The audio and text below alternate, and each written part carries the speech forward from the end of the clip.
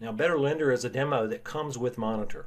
So once the product is installed, the customer has the option of installing this demo uh, as sort of a showcase demo that gives them a way to reference working dashboard pages as they create their own. It does include a special widget on the right hand side called Getting Started, which has text and links and documents in it that um, talk about the capabilities of Monitor. And it shows that in context to the page that you're looking at, so it's, it's very helpful in that sense. So the page we're on is called Business at a Glance. It's one of several pages in the demo. It includes the diagram widget at the top. Now this is a really nice artifact that allows you to bring in your own image and then annotate it with text and colors to represent some information to the business user. In this case, um, it's an image of some dollar bills and a house and then um, some information about completed and new loans and loan failures and exceptions. We can see that they've used a bar chart, sort of a, a view, and colored it uh, depending on the, the status of those numbers. Uh, we'll use some other examples of the diagram widget later on and in other demos uh, as well. At the bottom is a KPI widget. So this is tracking six key performance indicators that have to do with the month to date or the year to date amount of the loans that we're tracking in our loan process. Uh, if we look at the diagram at the far right of this widget, the dark line represents the actual value, which is um, 1881.25 in, in thousands. And then the ranges that we've established for this KPI very low, low, average, moderately high, and very high. And then the target is represented by the white line. And so this gives us a very quick visual indicator of how we're doing against our target and the different ranges that we specified. The targets and ranges can also be used to generate alerts if we cross those boundaries. So this pattern and, uh, colors these translate to the other visualizations that you can switch to, such as half gauges, uh, full gauges, and you can change the size of these as well. Uh, a bar chart, or uh, what's called a simple view. And these are all selectable uh, with the switch on the lower left of the widget. If we move to the Business Alerts page, this is another example of the diagram widget, but now it represents the process. And rather than looking at a single process, it looks at the aggregates. And so it's really showing us how we're doing um, from an overall business process health standpoint. If we've exceeded our targets in a good way, then uh, we color the phase green, and if not, if we've missed it, then it's colored red. So um, this is a nice way to use the diagram widget. It can also be used for uh, representing a single process. It can also be used for layouts um, for maps and other types of diagrams. Below this is the alert widget and it looks like we have some alerts. We have a fee compliance alert on a certain loan. If we click this we can get the details and you can see that into the, the template of text the actual loan number has been inserted and we have a timestamp and the uh, name of the loan officer who is in charge of this. So alerts can represent very specific instances of information or they can tell us about KPIs and other aggregates as well and let us know that things are trending in the wrong direction. If we've crossed one of those boundaries, this is um, where this might show up. Now, in this particular case, we're viewing the alert on our dashboard, so it's called a dashboard alert. You'll see later that we can subscribe to this to give us a cell phone alert or an email alert as well. Once we've gotten an alert, we can mark it read or unread, send it to someone else in the system, change the priority, add comments to it, or change its status. Now we have a view of the instances of active loans. This is a, an example of the instance widget. It's been filtered just to show us a subset of the, the loans that we're looking at. And we are exposing just four or five columns uh, of data out of the many more that we have available for each instance of the loan that's running. And you'll see an example of this in just a minute. But um, the instance widget is often filtered to limit the view uh, to that that's needed by the business user in their role for a particular uh, situation. If we switch over to the new loan application, we have some exception KPIs at the top, tracking things like invalid applications and document failures, each with their own ranges and targets and values. And then another example of the instance widget at the bottom, now filtered for just new loans and showing about the same information, except we've now got a drill down window where we can see some uh, details that's happening on these set of new loans uh, that are being processed.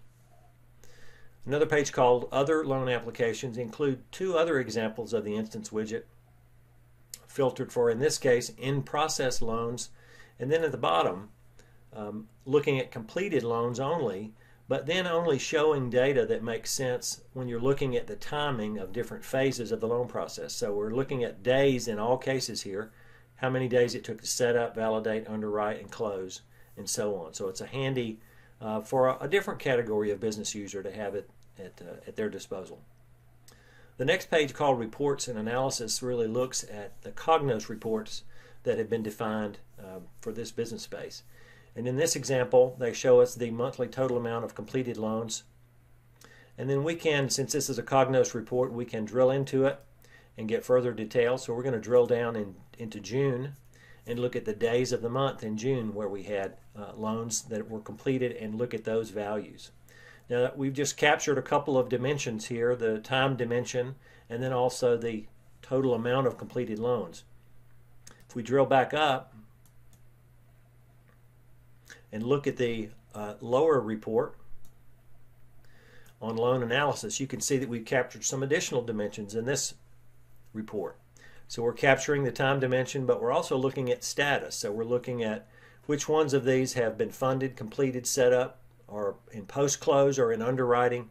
And then we also have the loan officer dimension available to us. And once we drill down on that, we'll have an additional um, set of information to identify the loan officer that's in charge of this. So that's the way these Cognos reports work. They can be very dynamic if you're collecting the right uh, information. Scroll down a bit further and we're looking at the KPI history widget. This is a specialized widget to track an individual KPI over time. So the KPI we're looking at is called month to date amount of completed loans. We've got it set to look at a monthly period and show the data points for every day. And we're tracking the value of that KPI over time. So if you can uh, see the layers of color here, those map against the ranges that we've defined for this KPI, and we can easily see when we cross the threshold from very low to low or low to high and so forth in tracking how this KPI is performing over time. Just another example of some of the reporting um, function. In this case, we're going to show how some of the widgets can interact with each other. And so I have a report viewer widget at the top that has some monthly information, and then I have an instance widget at the bottom which shows um, I believe over 400 uh, instances altogether. One of the capabilities is to look at the report view and then drill down and show the instances that are related to that part of the chart that you're looking at. So if I look at June and I right click on June and say show me the instances, well this report links up to the instance widget and filters it down to the 29 instances that meet that criteria and you can see they're all reflective of the June date. And so the KPI widget works the same way. If I look over here at the KPI that's tracking the number of loans completed, then one of the capabilities it has is to show the instances that are represented by that KPI. And so now we see that the instance widget is now filtered from 400 down to 10 and so I can see very specifically those 10 instances that meet that criteria. The last page is the tools page, and these are used less often, um, and maybe by administrators, but maybe some business users have access to these depending on how you set up the system. This is where in the alert manager I can subscribe to different types of alerts that are there and determine the method I want to use to receive those, whether dashboard, cell, email, pager, and so on. The KPI Manager widget allows me to look at the properties of the KPIs that are set up. I can look at the underlying data and how the definition of the KPI was created. Look at the ranges and what those ranges mean. If I'm authorized, I can create new KPIs uh, on the fly for myself or share those with the group if I'm authorized to do that. So there's several capabilities here. The Report Designer widget allows me to create new reports that are not currently available. I select the correct package And by just making a couple of selections, uh, for instance, the, the loan officer involved, maybe the uh, total amount of applications, maybe the time the loan processing started, and I can do a preview of what that Cognos report might look like.